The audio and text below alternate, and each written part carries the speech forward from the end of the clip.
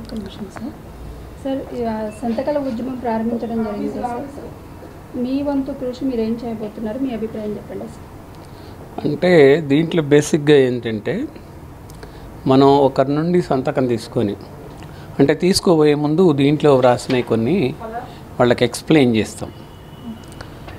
ఇప్పుడున్న ఒకటి for example reservations తీసుకుంటే రిజర్వేషన్స్ యాక్చువల్గా ఫిఫ్టీ పర్సంటేజ్ ఓపెన్ కేటగిరీ ఉండాలి.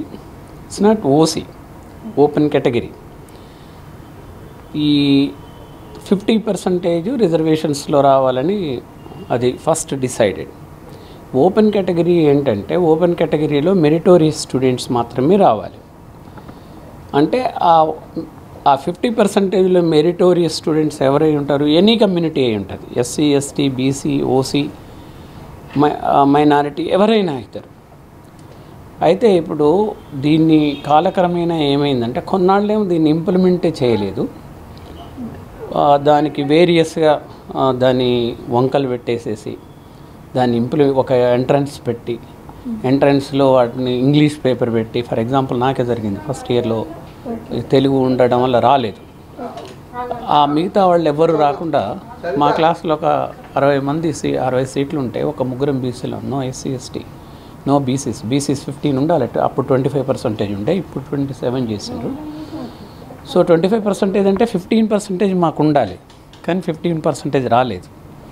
ఎందుకు అంటే అప్పుడు ఎంసెట్ ఎంట్రన్స్ పేపర్ ఏదైతుందో హిందీలో ఇంగ్లీష్లో రాసిందనమాట ఇంగ్లీష్లో రాసుండే వరకు విలేజ్లో మేము తెలుగు మీడియం నుంచి వచ్చిన వాళ్ళకు తెలుగు పిచ్చిలాగా నేను తెలుగు పదాలే మాట్లాడేవాడిని. అట్లాంటి ఆ తెలుగు పదాలు అందులో ఉండే అది ఒక పెద్ద డిఫిషియన్సీ అయిపోయింది. దాంతో పోయింది. అట్లా చాలామంది దాంట్లో ఉత్తీర్ణులు కాకపోయే వరకు ఆ సీట్లు వాళ్ళకు రాకుండా వేరే వాళ్ళకి ఇచ్చేసారు అక్కడ only not only even B BCs ఎస్సీస్ even OCs కూడా విలేజ్ నుంచి రాని పరిస్థితులు ఉండే ఆ రోజులలో. ఒక ముప్పై ఐదు మంది ఉంటే ఒక ఏడుగురు ఐదుగురునో పాస్ చేసేవాళ్ళు. అంటే క్రీమీ లేయర్ మాత్రమే పాస్ అవుతారు. నేను ఒక క్రీమీ లేయర్లో ఒక అతన్ని విలేజ్లలో స్కూళ్ళల్లో ఆ తర్వాత ఇంటర్మీడియట్ లెవెల్కి వచ్చినాక ఇక అప్పుడు ఎంపీసీ బీపీసీ వేరు వేరులోకి వెళ్ళిపోతారు కదా. అయితే ఇప్పుడు ఏమైందంటే అట్లా కొన్నాళ్ళు అయినాక సెవెంటీ నైన్ వరకు నైన్టీన్ సెవెంటీ నైన్ వరకు ఇంప్లిమెంటేషన్ చేయలేదు రిజర్వేషన్స్ ఎట్లా తప్పించింది ఎట్లా తప్పించింది అంటే పేపరు దాంట్లో పాస్ కావట్లేరు కాబట్టి ఎంట్రన్స్ రావట్లేదని. అప్పుడు ఒక క్యాండిడేటు ఎంబీబీఎస్లో ఉండే వాళ్ళ బ్రదర్కు ఎస్సీ క్యాండిడేట్ వాళ్ళ బ్రదర్కి ఇంజనీరింగ్లో రాలేదు.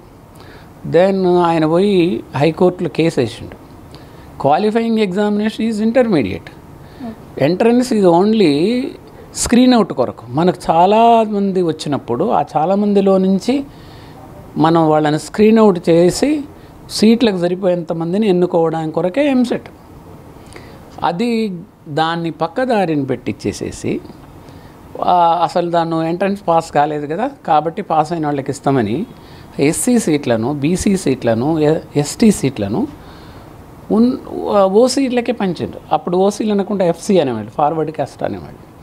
ఫార్వర్డ్ క్యాస్ట్లకే పంచారు పంచినప్పుడు ఈ ఇతను నైన్టీన్ సెవెంటీ నైన్లో నైన్టీన్ సెవెంటీ నైన్లో అతను హైకోర్టు